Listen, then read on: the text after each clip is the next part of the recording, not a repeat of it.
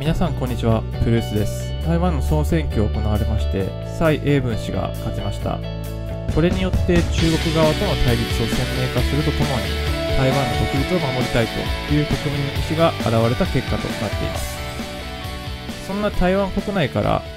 香港の抗議デモ方々に向けて支援物資が提供されたそうです。さらに香港に向けて結束のメッセージを送ったと。いうニュースが伝えられています。参照はサウスチャイナモーニングポストからです。詳細についてお伝えしています。台湾国内にはいくつか香港の反政府運動を支援する団体組織が存在しています。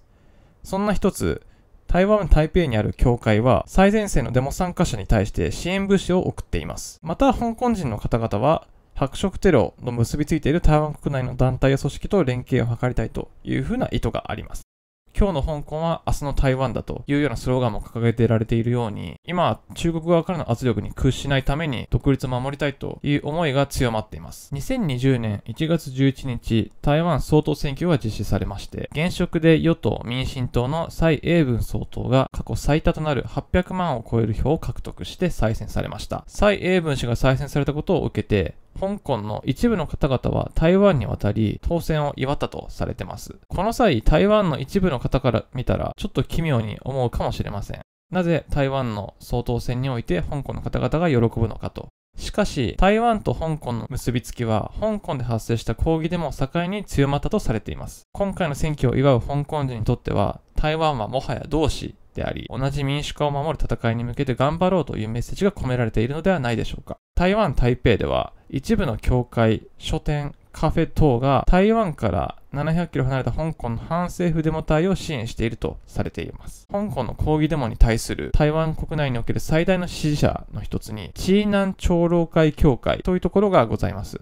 協会には、香港民主派を応援しよう、香港に自由をと書かれた垂れ幕などがレノンウォールに掲げてあります。レノンウォールという話が出たのでちょっとご説明しますと、レノンウォールとは自由を求めて市民の声が集められた赤や黄色の付箋が貼られた壁を指します。すでに香港の数十箇所に存在すると言われていまして、人々の反政府デモの思いが込められた壁です。レノンウォールの起源は1980年代の共産主義体制下のチェコスロバキアで若者たちがジョン・レノンの死を悼んで忍んでメッセージを記したのが始まりとされています。2014年の天笠革命の時にもデモ隊が占拠した錦州というと場所の歩道橋にもレノンウォールが出現しましたけども、今回は香港中に現れています。これを意味するところは自由と民主主義を称えるメッセージというところです。そんなレノンウォールがチーナン長老派協会にはあります。そして同教会の信徒の方々からは、たくさんの安全な安全ヘルメットなどの防護具を香港のデモ参加者に送っています。このチーナン長老派協会がこのような支援を始めたきっかけというのは、逃亡犯条例改正案によって引き起こされた社会不安を見かねてデモ隊に対して防護具などを提供し出したということのようです。教会のボランティアであるコ・チャオクスン氏は、多くの教会員は支援物資を香港に送ることを望みましたと。ここで提供されている防護服は、合わせて410万香港ドル相当の器具が教会によって集められたそうです。ピーク時には1週間で800個のヘルメットが集まったらしく、その一部は教会本体から香港の抗議デモ隊に送られ、残りは様々なチャンネルを介して送られています。また、教会は台湾に逃亡した200人の香港の政府抗議者に対して人道支援を提供したと、その香港の方々に向けて台北にまた戻ってきたら連絡を取り合って夕食を取ることを約束していたそうですけども、香港に戻った彼らはすぐに連絡がつかなくなってしまったというふうに話しています。まあ、このボランティアのコンさんの話で言うと、彼らは逮捕されたのではないかというふうに考えているそうです。人道支援を行った200人の政府抗議者の年代を見てみると、20代の若者たちが大半だと。まあ、このコンさん自体は結構年としてはま60歳ぐらいらしいんですけど、やっぱ父親という立場のような思いから彼らを見ていくと、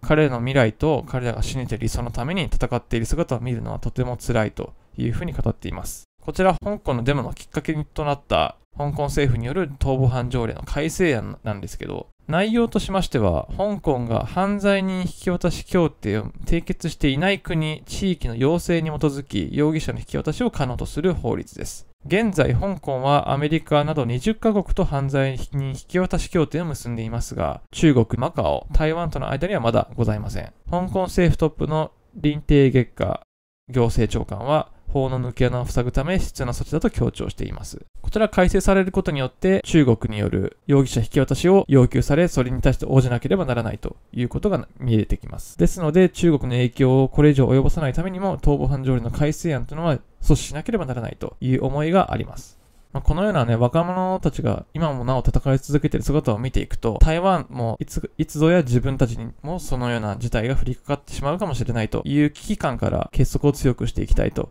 いう思いが強まっていると思います。この逃亡犯条例改正案に対する激しい反対として始まったデモは、今や香港の根本として存在している民主的な改革の必要性と、警察からの弾圧、そしてその警察側の説明責任に焦点を当てた、より広範囲にわたる反政府運動に変化しています。先ほどの教会のボランティアの方からの情報だと、中国がいつか台湾を支配し、それを次の香港に変える恐れがあるということに同意しています。台湾の人々は香港の抗議者とより結びついたというふうに感じており、台湾は1949年から87年にかけて国民党が率いている政府によって戒厳令が課され、政治的反体制派が抑圧された白い恐怖というのを体験しています。台湾の歴史的な経緯が今回の香港のような状況になるのではと、さらに警戒感を強めたと語っています。こちら台湾で起こった白い恐怖の時代というふうにお伝えしましたが、白い恐怖、白色テロとは何かと。白色テロは1947年2月28日に台湾の台北市で発生した中国国民党政権による民衆への弾圧、虐殺の引き金となった228事件というのがございます。こちらの事件をきっかけに国民党からの政治的な弾圧が民衆に加えられまして、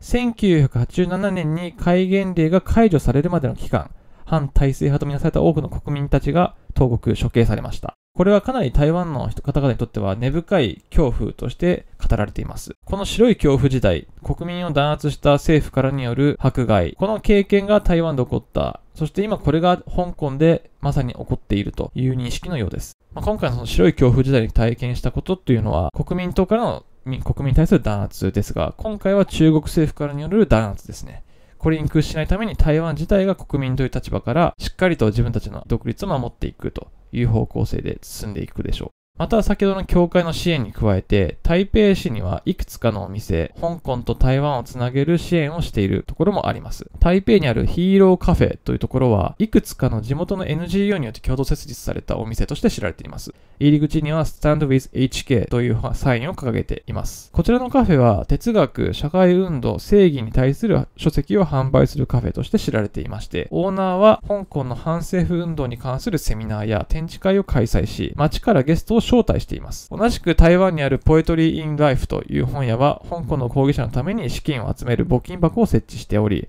デモクラシーの旗やポスター、抗議者への支援メッセージが掲載されているレノンウォールをお店で見ることもできます。このお店は香港の詩人、ルーク・ウンユ氏によって設立されました。ウンユ氏は現在台湾の出版業界で働いています。ウンユ氏は一部の抗議デモ者は私のショップを知っており、お店の支援やチャリティの動きをサポートする製品を我々から送り、向こうからも支援のお金などを送ってくれるということのようです。また、運輸氏は、台湾と香港が互いに支援し、中国からの脅威から自分たちの自由な生活を守りたいと話しています。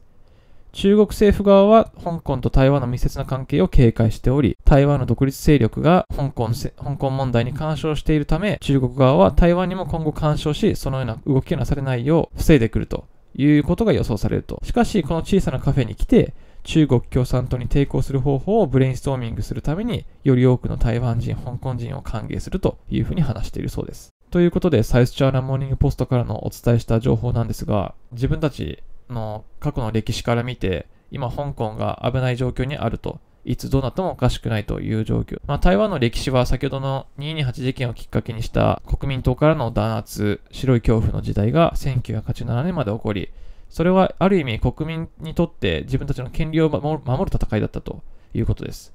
それが解除されて今に至りますが、まあ、それ以降やはりこの香港が今このような状況になっているため、台湾側も中国に対してしっかりと戦いの戦いをしていかなければいけないという思いが一層強まったことでしょう。またこれによって香港と台湾がより結びつきが強くなったというのは私はいいことだと思います。やはり一国だけでは弱い部分もありますし、同じような状況に立って一緒に結束を強めて自由独立を守っていこうという運動は非常に評価すべきことだと思いますので、まあ、これに対して香港、台湾だけではなくて海外、まあ日本とか、まあヨーロッパの国々とかにも支援という形で香港の独立